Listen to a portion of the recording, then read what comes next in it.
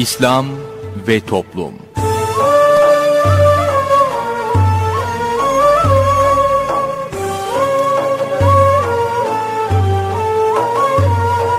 Merhaba sevgili dinleyiciler. Bir programla daha yeniden birlikteyiz. Bugün ana kumanda masasında arkadaşımız İsmail Sert görev yapıyor. Ben Mustafa Toköz programı sunuyorum. Programımıza şiirlerle menkıbeleri yayınlayarak başlayacağız. Daha sonra ilahi dinleyeceğiz. İlahinin ardından günlük sohbetimiz gelecek. Sonra Hayatım romanı dinleyeceksiniz ve son olarak da Sorun Söyleyelim de Osman Ünlü hocamızla birlikte olacağız.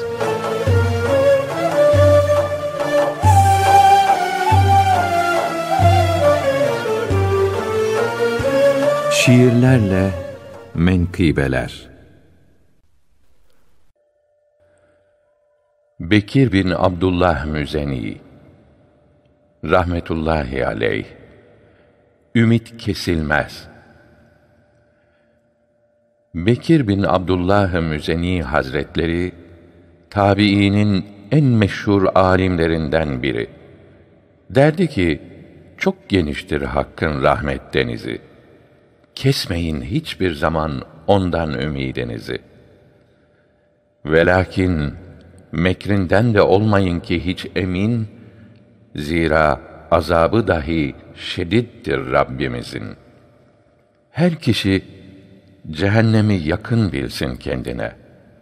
Velakin ümidini kesmesin ondan yine. Zira azaplarından geniştir affı daha. Çok günahkar olsan da tövbe et, dön Allah'a. Yarın mahşer gününde hesaplar görülünce, herkes layık olduğu yere götürülünce, o zaman meleklere emreder ki Rabbimiz, ateşten iki kişi çıkarıp getiriniz. Melekler iki kişi çıkarıp getirirler. Yeriniz nasıl diye Rabbimiz sual eder. Derler ki, Ya ilahi, çok müşkildir halimiz. Yerimizden daha zor bir yer yok zannederiz. Hak Teâlâ buyurur, Zulmetmedim ben size. Kendi kazancınızdır. Dönünüz yerinize. Onlardan bir tanesi alır almaz bu emri koşarak gider hemen bakmadan dönüp geri. Öbürü ise isteksiz gider pek üzülerek ve sık sık dönüp bakar bir şey ümid ederek. Çağırır Hak Teâlâ onları tekrar yine ne için koştuğunu sorar birincisine. O der ki, ben dünyada dinlemedim emrini. Bu yüzden çekiyorum cehennem elemini. Tekrar aynı hataya düşmeyeyim diyordum. Onun için yerime koşarak gidiyordum. Hak Teâlâ bu sefer sorar öbür kişiye. Sen niçin ikide bir bakıyordun geriye? O der ki, sen her şeyi bilensin ya ilahi. Bu husustaki zannım şöyleydi benim dahi. Bilirdim ki ateşten çıkarınca kulunu, cehennem ateşine sokmazsın tekrar onu. Buyurur, cehenneme girme artık öyleyse. Zannettikleri gibi bulur beni her kimse. Madem benim hakkımda böyledir zannın senin, Haydi arkadaşınla gidin, cennete girin. Bu mübarek veli zat çok korkardı Allah'tan. Gözyaşları yüzünde iz yaptı ağlamaktan. Bir günde ağlıyorken sordular ona yine. Ne için ağlıyorsun çok yakınken Rabbine? Buyurdu, kardeşlerim, ayrılıktan korkarım.'' ebedi beraberlik olmazsa ne yaparım? Sen bana yaramazsın der ise Allah bana, ne olur benim halim, ağlarım işte buna.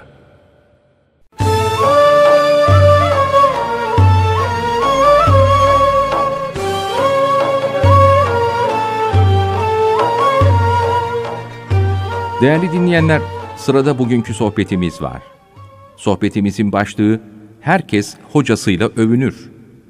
Kadı İyad Hazretleri bir gün, iki şeye çok seviniyor, göklerde uçuyorum. Sanki yıldızlar ayaklarımın altında, elimi uzatsam ayı tutacağım. O kadar sevinçliyim. Bu iki şey kimde varsa o da benim gibi sevinsin, hiç üzülmesin buyurur. O iki şeyin ne olduğunu sorduklarındaysa şöyle anlatır. 1.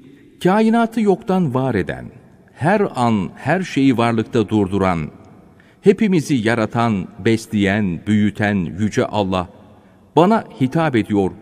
Ey kulum, ey iman eden buyuruyor. Ben kimim ki böyle yüce Allah'ın muhatabı olayım? Bana görev veriyor, emir ve yasaklar koyuyor. Bu ne büyük şereftir. Namazını kıl, bunu yap, bunu yapma buyuruyor. Ben yüce Allah'ın muhatap kabul ettiği bir Müslümanım. Böyle yüce Allah'ın kuluyum, kölesiyim. Herkes efendisiyle övünür. Benim efendim, sahibim Allah'tır. Bundan daha büyük şeref ne olabilir? 2. Herkes hocasıyla da övünür. Benim hocam Muhammed aleyhisselamdır. Ben onu görmedim ama benim hocalarımın hocasının hocası Muhammed aleyhisselamdır. Öyle bir peygamber ki diğer peygamberler onun ümmetinden olmak istemişler. Öyle bir peygamber ki Allahü Teala kendisine kavuşturacak her kapıyı kapatmış, tek kapıyı açık bırakmıştır. Bu tek kapı da onun mübarek kalbidir. Yalnız onun kalbinden cennete giriliyor. Onu sevmeyen, onu peygamber kabul etmeyen kim olursa olsun cennete girmesi mümkün değildir. Öyle bir peygamber ki bütün kainat onun hürmetine yaratılmış. Allahü Teala ona Habibim buyurmuştur. Gelmiş ve gelecek bütün insanların en üstünü olan o peygamber bana ümmetim buyuruyor. Beni talebe olarak kabul etmiş. Ben ona iman etmişim, inanmışım. Bana sen benim talebemsin, sen benimle berabersin. Ben nereye gidersem sen de oraya geleceksin. Sana şefaat edeceğim buyuruyor. Ben sevinmeyeyim de kim sevinsin? O halde kimde bu iki nimet varsa hiç dünyayı dert etmesin, istediği kadar sevinsin. İşte ben o sevinci yaşıyorum. İşte bu iki nimet şimdi hepimizde mevcuttur. Bu kadar büyük şerefe ve nimete kavuşan bizler, eğer bu dünya için üzülürsek çok yanlış olur. Büyüklerden bir zat da, kardeşim sakın üzülmeyin. O kadar büyük nimete kavuştuk ki, bu büyük nimete kavuştuktan sonra hala dünya için üzülürsek, büyüklerimiz incinir, Allahü Teala da gücenir buyururdu. İnsanların takdirlerine, iltifatlarına aldanmayalım. Aslımızı unutmayalım. Aslımız bir avuç topraktır. Topraktan geldik, toprağa gideceğiz. Cenab-ı Hak kısa bir süre için bu bedeni kullanma yetkisi vermiştir. Hayırda kullanırsak sonuç hayır, şerde kullanırsak sonuç elbette şer olur. Allahü Teala bir kulunu seviyorsa ona şu iki şeyi verir. Bir, doğru iman nasip edip İmam Rabbani Hazretleri gibi sevdiği büyükleri tanıtıp sevdirir. İki, ezelde takdir ettiği rızkını helalden kazanabileceği hayırlı bir iş nasip eder. Elbette en hayırlı iş bu büyüklerin yolunda dinimize hizmettir. Kim evliya zatlara benzerse başarılı olur. Bu büyüklere benzemek, çileye sabretmek demektir. Bu yol çileli, sıkıntılı yoldur. Peygamber Efendimizin çektiği sıkıntıyı hiç kimse çekmedi. Eshab-ı kiram da çok sıkıntı çekti. Mevlana Halid-i Bağdadi Hazretleri talebelerinden birinin kendilerine hor davranıldığından ve devamlı alay edildiğinden şikayet etmesi üzerine buyurdu ki, bu yolun büyükleri bazen müritlerin başlarına gelen çeşit çeşit zorluk ve şiddetleri beğenirler ve bunları müritlerin inkar ve ihlasını imtihan için mihenk malzemesi yaparlar. Bu zorluk ve sıkıntılar niyeti bozuk, alçak kimselerin bu yola dil uzatmasına, büyükleri inkar etmesine ve hor görmesine, dolayısıyla temizlerden, salihlerden ayrılmasına yol açar. Bazı ham kimselerin hatırına eğer benim şeyhim tasarruf sahibi yahut benim yolum hak ise niçin bizi hemen bu zorluktan ve darlıktan kurtarmıyor diye bir düşünce gelir. Bilmezler ki zorluk, darlık ve şiddet bu yolun kendisidir ve hocasının muradıdır. Halbuki bu şüphe ve ithama düşen kimsenin bu yolda yüzü kara olduğu ortaya çıkar. Muhammed Emkenegi Hazretleri bir gün bazı talebeleriyle birlikte dikeni bol bir araziden geçiyordu. Birkaç talebesinin ayakları yalındı. Hemen her adımda bir diken batıyordu. İçlerinden gizlice ah çekiyorlar ama hocalarının ardından gitmekten bir adım geri kalmıyorlardı. Bir defasında geri dönüp baktı. Ayağa elem dikeni batmadıkça Murat gülü açmaz buyurdu. Dikenlere katlanmadan maksada murada kavuşulmaz. İşte dünyanın tarifi budur. Ahirette rahat etmek isteyen, dünyada bu dikenli tarladan geçmek zorundadır. Başka yolu yoktur. Gülerdi halk içinde, ağlardı için için, böyle olduğunu da belli etmezdi lakin.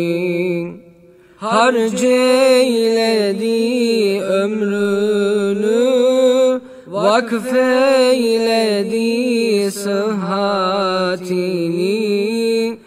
daim dua ederdi, hizmetler devam etsin. Men bayi numunesi, şefkatin merhametin,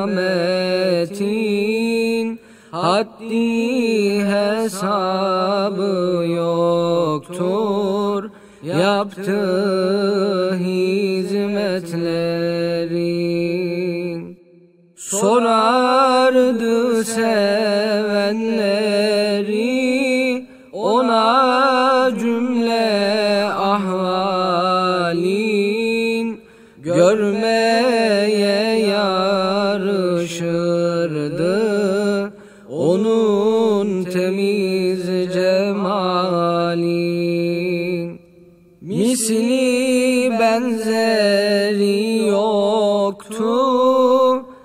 verdiği öğütlerin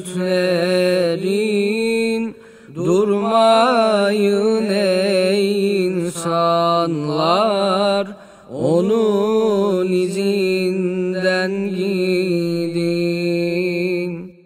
Geceleri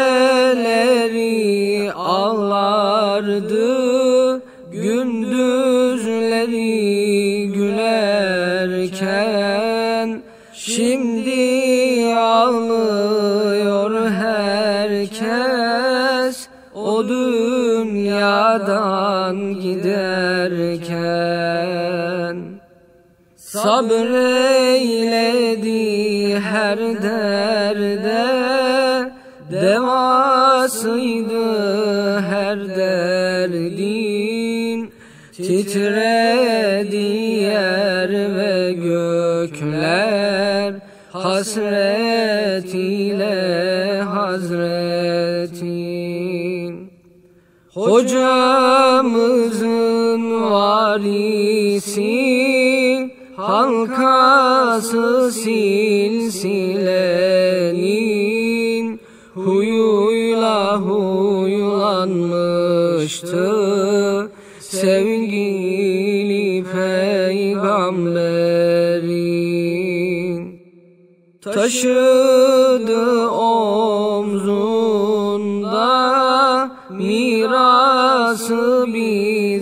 bizler için hamd edene vererek bitirdi vazifesin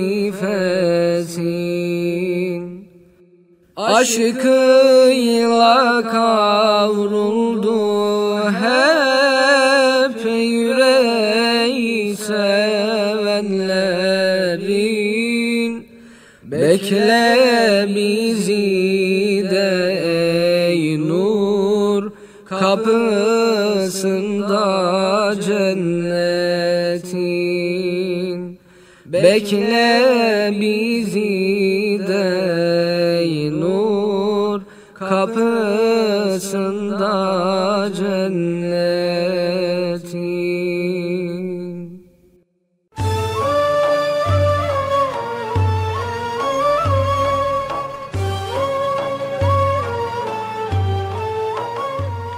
Değerli dinleyenler yayınımıza devam ediyoruz. Sırada sorun söyleyelim var. Osman Ünlü hocamızla birlikteyiz. Hoş geldiniz hocam. Efendim hoş bulduk. Dinleyicilerimizden gelen sorular var hocam. Bir dinleyicimiz mektup göndermiş. Ee, Uşak'tan bir dinleyicimiz diyor ki kurbanla ilgili bir sorun var. Ee, 7 adet kazaya kalmış olan kurban borcumu bedelini e, aşevine verdim. E, adıma kurban kesilmesi için borcum ödenmiş midir? Ödenmemiş. Ne olması lazımdı? Kesilmez çünkü o. Bitti o. Çünkü kurban Kurban Bayramı'nın birinci, ikinci, üçüncü günü güneş batana kadar kesilir. Kesilmezse bedeli altın olarak fakirlere verilir buyuruyor. Peki ne yapacak şimdi bu dinleyicimiz? Götürmüş yedi tane kurban bedelini oraya vermiş orada kestirttirmiş. O sadaka olur. Kurtulması için hani bedelini de diyelim ki orada fakirlere verdi diye kabul etsek. Bu meseleyi bilen birisine vekalet verecek. Benim yedi tane kurban borcum var. Bunları halletmek için seni vekil ettim diyecek ama bu meseleyi bilen birisi. Ee, kaç paradan diyelim ki memleketi belli mi? Uşak. Ha Uşak. Uşak'la İstanbul arasında fark vardır. Mesela burada 800 lira ise orada 700 lira 600 lira olabilir değil mi? 600'e bile bulabilir. Ha, 600 liraya bulabilir. Ha, 600 liradan 6 7 42 e, 4200 liradır. E, 4200 bölü kaç sene önceki 100 liraya bölmüşsün nedir? 42 gram altın mı eder? Öyle bir şeyler. İşte 50 gram altını. İşte e, vekili bulunduğum falanın 7 senelik kurban borcu olarak bu altınları sana verdim. Fakir de aldım kabul ettim. Fakir bilecek bunu. Bilen bir fakirle yapılır. Aldım kabul ettim. Onu sana hediye ettim diyecek. Böylece e, ne oldu? Altınla devrini yaptık. Bu da bedelini işte oralara vermiş. Böylece kurtulmuş olur. Ama şu halde kurtulmuş olmadı daha. Borcunu ödemiş olmadı. E, bu sebepten dolayı yani biz e, dinleyicilerimize hatırlatalım. Zekat borcu, kurban borcu olanların veyahut da adak borcu olanların e, ya Tam İlmihal Saadet Ebedi kitabını açıp bir okusunlar dikkatli bir şekilde veya ulaşabilirlerse bize ulaşabilirlerse veya bilen birisine bir sorsunlar. Bu işi yapmadan önce sorsunlar. Yaptıktan sonra ben böyle yaptım oldu mu? Yok olmadı işte. Olmadı. İskat de böyle. Ya nasıl hesap edeceksin? İşte gittim de ben hocaya sordum ya olmaz falan işte şu kadar para verirsen olur o kadar para verdik gitti o da falan aldım verdim aldım vermedim. E, yapmadı bile yapmaz bile de zaten inanmıyor ki adam. Öyle inanmayan inkar eden nerede aynı şekilde iskatta yaptırılmaz. E, zekat devri adamlar anlamaz. Tabi tabi versen parayı hallolmuştur falan derler. Onlara da itibar edilmez. Dinini bilen, seven, kaynan buyuruyor İmam Rabbani Hazretleri Kutsi Surun. Ehl-i sünnet itikadında olan ve ehl-i sünnet alimleri kitaplarını okuyan, e, beş vakit namazını kılan, haramlardan elinden geldiği kadar sakınan bir Müslüman kendisine bir konuda vekalet verildiği zaman korkar. Neden korkar? Ya ahirette aynı şekilde azap edilmekten korkar. Bunun hesabı sorulacak kendisine. Sen e, bu Müslüman sana itimat etti, sana vekalet verdi. Bunu zekatını nasıl yaptın, kurbanını nasıl yaptın diye hesabı sorulacak. Efendim allem kallem ettim işte Johnny'ye verdim, Morda'ya verdim. Ha, görürsün onu Johnny'ye mi verdim, Morda'ya mı verdim? Orada görürsün kimilere verdiysen o zekatı kurbanı. Orada hesabını verirsin. Ha, inanmıyorum. İnanmasın inanmaz. Sen inkar ettin diye bu olmayacak değildir ki. allah Teala hesap sormayacak değildir ki. Ölmeyecek, ölmeyeceğim diyemezsin ki. Mutlaka öleceksin. Mutlaka her şeyin sahibi de sana bunun hesabını soracak. Dinleyicimiz ikinci olarak da diyor ki ben bir zamanlar şehir kulübünde çalışmıştım. E, orada garson olarak diyor. Burada oyun da oynanıyordu. E, buradan almış olduğum bahşişler veya işte maaş e, helal midir acaba yoksa ben bugüne kadar hep haram mı yedim?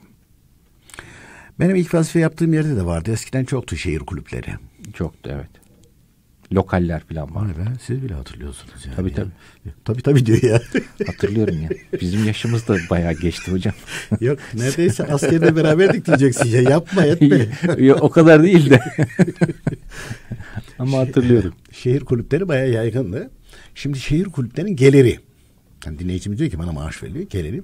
Ona üye olanlar aidat verir. Adam maaşlara aidat getir verir. O aidattan oradaki çalışanlara e, veya teberru geliyordur. Bir dernektir netice itibariyle. Kendi tüzükleri falan var. E, kanuni yetkilerle donatılmıştır. Dolayısıyla gelirlerinde haram yok. E, ama oraya gelen aynı şekilde çay da içiyor. Kağıt da oynuyor. E, görüyordum yani. E, eğer şeyler mevzuatlar uygunsa içki bile içebiliyor. Ama orada çalışan kimsenin aldığı para haram değil. Onu anlatmak istedik. Onu anlatmak istedik. Bu da zaten onu soruyor. Evet onu soruyor. Bir başka dinleyicimiz yine mektup göndermiş. Bir tek tük de olsa mektup geliyor bu arada. Evet. Ee, dinleyicimiz diyor ki kadınların namazdayken ellerinin üstü örtülmesi zorunlu mu? Avuç içi e, de örtülürse namaza mani olur mu? Ee, bir de bunu şunun için soruyorlar. Bu başörtüsü var ya. Başörtüsü iki elin arasına giriyormuş bazen gayri ihtiyari olarak yani onu bilerek değil de. Bunun bir şeyi var mı diyorlar. Yok namaza mani olmaz. Bu bir ikincisi e, genel olarak mesela tam İlmi Hasadet Devedi İslam Ahlak kitabında başka kaviller de nakledilmiş ama genel olarak bildirilen, tercih edilen kavil e, el ve yüz hariç buyuruyor. Namazda. Evet. El ve yüz hariç bütün bedeni, ayaklar dahil örtülmesi gerekiyor. Kadınların. Evet. Namazda ilk oturuştan kalkarken Allahu Ekber diyerek mi kalkacağız yoksa sessiz mi kalkacağız demiş dinleyicimiz. Allahu Ekber diyerek kalkacağız. Namazdaki e, rükünlerden diğer rükne intikal ederken e, hep tekbirle bir tek rükudan kalkarken Semi Allahu lümen hamid ediyoruz. Rüküye giderken Allahu Ekber. Kalkarken Semi Allahu lümen hamide. Ondan sonra hep e, secdeye giderken Allahu Ekber. İkinci secde Allahu Ekber. İkinci secdeyi yaptık kalkarken Allahu Ekber diyerek kalkıyoruz. Mealli Kur'an-ı Kerim'in mealini okumak uygun mu? Uygun değil. Çünkü piyasada meal yok. Tercüme var. Tercüme de adamın kendi kafasına göre uydurduğu şeyler. Dört mezhep imamımıza ait kitap var mı elimizde hocam demiş. Dört mezhep imamına ait, imamların değil. Dört mezhebi anlatan kitap yazılmış. Ee, bize yakın zamanda yazılan Mezhebi Erba'dır. Onu tercüme edenler olmuş ama pek tavsiye edilmez. Dört mezhep imamının kendi kitapları var mı yazdıkları? İmam Azam İbn Hazretleri'nin yazdığı ana hatlarını bildiren Fıkıh Ekberi meşhurdur. Ee, mesela İmam Ahmet bin Hanbel Hazretleri'nin e, Müsnedi, İmam Malik Hazretleri'nin de var aynı şekilde. Meşhurdur, kitaplarda var. E, yani isimleri var. Osman hocamızın özel numarasını diyor alabilir miyim demiş aynı zamanda. Telefon numaranızı istemiş. Vereyim mi şimdi? Yeri- versem de versem de yeri geldiği için bir şey söyleyeceksiniz hocam. Söyleyeceğim. Versem de bir kıymeti yok açamıyorsunuz herhalde. Telefonları açamıyorum. Yani e, dinleyicilerimizden özür dilerim. Çünkü e, yani bizim yükü ağır, yük ağırlaştı. E, Türkiye Gazetesi'nde her gün yazılar var. Radyoda program var, televizyonda program var. E, buna ek olarak yap, e, üzerimizde e, şeyler var. Dolayısıyla zamanla yarışıyoruz. Yani bizi mazur görsünler e, ki hani bazıları internete girdiği zaman cep telefonlarını falan buluyorlar falan. Ondan sonra diyor ki ulaşamıyoruz. Ulaşamazsınız çünkü açmıyorum. Evet açsanız. Ha açıp da çaldırınca bu sefer de diyor ki benim için açmıyor onu. Bana açmadı onu. Suizanla sebebiyet verir. Onun için biz de kapalı tutuyoruz. Yani ele geçirsen de e, cep telefonunu bir faydası olmayacak. Ama bir de şu var. e, mesela buradaki e, normal e, telefonu, dahili telefon 5639 e, şimdi başlıyor uzun uzun. Ya sualin varsa hemen çabucak sor. E, biz herkesle bir dakika uğraşmış olsak 100 kişi olsa 100 dakika eder bu. Ya Allah'tan insaf yani. Diğer e, şeylere şey mailler de öyle. Mail gönderiyor. E şimdi sen bir kişi olarak beni bağlıyorsun orada. Bir de çok uzun yazanlar var mesela. Sayfalarca anlatıyor. Aha. Gerek yok. Soru neyse onu Ne, sorabilirsiniz. ne talep edin, ne şey yapıyorsun? Telefonda da önceden şey yap, takır takır onu sor. Mailde de aynı şekilde e, şey yap, ne istiyorsan. E, uzun uzun seninle ben yazışıp durmayacağım. Beni bağlıyorsun, vebale giriyorsun, günaha girersin. O caiz değil, uygun değil. Bir başka dinleyicimiz diyor ki e, ömür e, değişir mi? şundan dolayı soruyorum diyor dinleyicimiz. Hani sıla rahim yapanın ömrü uzar deniyor. Ee, bu durumda diyor sıla rahim yapmayan erken mi ölür? Efendim e, kitaplarda uzun uzun anlatılmış tam İlmihal Saadet'te de bu konu var. Ve oradan okunursa daha rahatla, rahatla daha geniş bir şekilde de alınır. Kazay mübrem, kazay muallaktan bahsediliyor. E, şimdi e, sılay rahim olsun. Ondan sonra tezekkürül mevt olsun. Yani ölümü zikretmek. Ondan sonra kabul olan dua, kabul olan sadaka. Ömrü değiştirir, uzatır. Mahiyette kitaplarda uzun uzun bildirilmiş. Allah Teala ezelde mesela Mustafa Toköz için e, bir 80 sene bir de 120 sene takdir etmiş. Niye gülüyor? 120 deyince gülesim geldi. Ahiretten bakarız sen de anne şöyle bir. Zavallı. Çoluk çocuğun madarası olur. Maskarası olur. torunların torun, torunların torununu da görürsün. Allah Teala hayırlı ömürler versin inşallah. Amin cümlemize. Ee, yok misal olarak o misalde durayım. 80 120. Ama bunu Mustafa Toköz bilmiyor ki. Ne 80'i biliyor ne 120 biliyor. Ee, 80'den sonra şartlı bir ömür vermiş Cenab-ı Hak. Mustafa Toköz kulum şunu yaparsa o ikinci ezelde takdir ettiğim 120 sene yaşayacak. Ben bilmiyorum onu. Onu ben bilmiyorum. Bu değiştiriyor onu. Yoksa e, hatta İslam Hala kitabında bir hadise anlatmış Hüseyin İlmi Efendi rahmetullahi teala. Davut Aleyhisselam bir gün e, kendisi kunduracılık yapıyordu. Bir gün e, Azrail Aleyhisselam geliyor. Yanında sohbet ediyorlar. İki kişi gelmiş. Onlar Azrail Aleyhisselam'ı görmüyor ama. Azrail Aleyhisselam'ı görmüyor. O iki kişi bir tanesi demiş ki 10 sene dayanıklı bana demiş bir ayakkabı yapabilir misin falan. İşte malzemeler şunlar bunlar pazarlık yapılıyor. E, o iki kişi giderken e, Azrail Aleyhisselam Süleyman Aleyhisselam'a diyor bu diyor 10 senelik ayakkabı yaptıran bir hafta ömrü kaldı diyor. bir hafta. Öbürüsü de diyor geçen hafta bittiydi ömrü diyor. Davut Aleyhisselam diyor ki bir dakika. Ne demek yani? bittiydi. Geçen hafta bittiydi. E diyor yürüyor. Hayatta bu. Dünyada bu. E, niye yürüyor? allah Teala bunun için iki türlü ömür takdir etmiş. Ezelde. Bunun bir akrabasıyla aynı şekilde kavgalı oldu. Haklı buydu. Haklı bu olduğu halde barışmak için bu önce gitti. allah Teala da hoşuna gitti. İkinci takdir ettiği ömrü yaşıyor şimdi. Hmm. 20 sene ömür verdi buna buyuruyor. Hadise bundan ibaret. Ama biz onu bilmiyoruz. Mesela tezekkürül mevt ömrü uzatır. Ölümü düşünmek. Ölümü düşünmek, zikretmek. Ömrü nasıl? Onu da izah etmişler. Ya 50 senelik ömür 150 sene olmuyor. 150 sene olmuyor. E şimdi e, allah Teala insana nefes sayısınca ömür vermiş. E şimdi e, onu e, dolandıran, bunun malını çalan, ona yan bakan bu adam heyecanlıdır, streslidir. E, böyle korkar durur, hızlı hızlı nefes alır. Ya ne olacak? Benimkinde çalacaklar mı falan. Hani adam bir tane böyle büyük bir kütüphanesi varmış falan. Bir gün birisi demiş ki bir kitap verim. Hayır demiş. Niye demiş? ben de bu kitapları demiş nasıl aldım biliyor musun? Hep böyle yürüterek demiş. Ondan bundan isteyerek. Niye vereyim demiş. Geri vermeyerek. Niye vereyim? Şimdi e, e, Cenab-ı Hakk'ın e, hani hızlı hızlı bu adam e, bana da böyle bir şey yapılacak diye nefeslerini hızlı hızlı e, şey yaptığı için 50 senelik e, 50 senede tüketebilecek diye ama 45 senede bitiriyor. Öbürüsü ölümü düşündüğü için kimsenin namusunda, malında, ırzında şey olmadığı için gayet rahat, ferah ferah nefes alıp veriyor. O da 55 senede tüketiyor onu. 50 sene, 55 senede tüketiyor. Hadise bundan ibaret. E peki efendim onun e, öyle şey yapacağını rızkı evet rızkı da ezelde bu şekilde takdir ediliyor. Allah Teala biliyor onun neyi tercih edeceğini. O tercih ediyor Cenab-ı Hak da yaratıyor. Cenab-ı Hak da yaratıyor. Dolayısıyla hani efendim ne kadar uzatır ne, e, e, bunu ben bilemem ki. Senin hakkında da benim hakkında da hiç kimse e, bilemez. E peki bu kitaplara nasıl geçmiş? Ha bu kitaplara nasıl geçmiş? allah Teala Peygamber Efendimiz'e bildiriyor. İşte Davut Aleyhisselam'la olan hadise. Azrail evet. Aleyhisselam geliyor diyor ki böyle böyle oldu.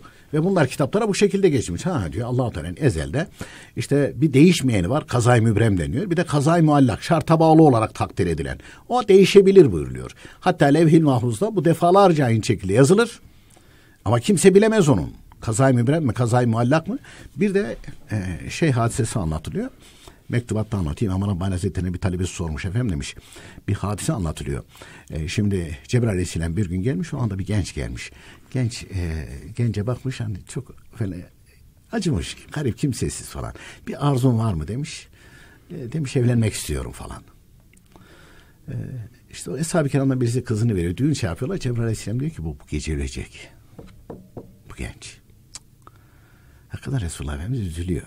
Ama nikah hakikleri yapılıyor. Gidiyor şimdiki gibi böyle bekleme değeri falan yok orada yapılıyor ve evlerine gidiyorlar karı koca. Sabahleyin Resulullah Efendimiz sabah namazından sonra bekliyor. Bir feryadı figan gelecek oradan falan diye bir şey yok. Kuşluk oluyor yok. Birisini gönderiyor. Efendim diyor karı koca çok neşeliler. Yani damat neşeli. Allah Allah. Kalkın gidelim diyor. Geliyorlar. İçeri Resulullah Efendimiz kapıda görünce genç diyor ki buyurun efendim falan diyor. Diyor yattığınız odayı görebilir miyim? Tabii diyor. Burası yattık. Yastık olarak da bunu kullandık. Şimdiki böyle şatafatlı karyolar falan yok. Kaldır bakayım diyor. Kaldırıyor. Bir tane yılan. Ölü. Ölü. Ee, gece diyor ne yaptınız? Ya Resulallah diyor nikah akdi yapılıp diyor oradaki yiyeceklerden bize verdiniz ya bunu götürün hanımınızda. Biz getirdik hanımla tam yiyecek kapı çalındı. Biz üç gündür çoluk çocuk açız dedi. Biz de kaldırdık ona verdik. Sadaka gelmekte olan belayı geri çevirdi buyuruyorlar. Ve orada İmam Rabbani Hazretleri buyuruyor ki bunu Cebrail Aleyhisselam haber verdi. Bunu vahiyle bildirmedi. Kendi inisiyatifiyle bildirdi. Hmm. Levh-i Mahfuz'a baktı. O gencin orada öleceği yazılı. Ama Cebrail Aleyhisselam da olsa gerisini görmedi. Bilemez. Bilemez. Ve levh-i mahfuza yazılı silinir değiştirilir buyuruyor ya. Değiştirilmiş. O şarta bağlıymış. Eğer o genç o yiyecekleri vermeseydi o yılan onu sokuverecekti o gece. Ama onlar tutmuşlar onu verince o sadaka o belayı defetmiş. Cenab-ı Hak da ömür vermiş onlara. Peki efendim çok teşekkür ediyoruz vermiş olduğunuz bilgilerden dolayı. Biz teşekkür ederiz. Sevgili dinleyicilerimiz bugün de programımızın sonuna geldik. Yarın yine aynı saatte buluşmak ümidiyle hoşçakalınız.